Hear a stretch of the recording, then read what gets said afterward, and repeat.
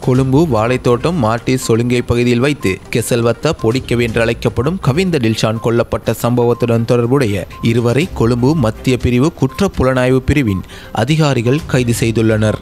குறித்த குற்றச்செயலுக்கு பயன்படுத்தப்பட்ட உந்துருளிகளுடன் நேற்று பிற்பகல் அவர்கள் கைது செய்யப்பட்டுள்ளனர். சந்தேக நபர்கள் மருதானை பகுதியைச் சேர்ந்த இருபது மற்றும் முப்பது வயதுடையவர்கள் என தெரிவிக்கப்பட்டுள்ளது. அவர்களிடம் மேற்கொள்ளப்பட்ட மேலதிக விசாரணைகளில் குற்றச்செயலின் போது பிரதான சந்தேக நபர் பயன்படுத்திய உந்துருளியை இந்த இருவருமே வைத்திருந்ததாக காவல்துறை ஊடகப் பிரிவு தெரிவித்துள்ளது.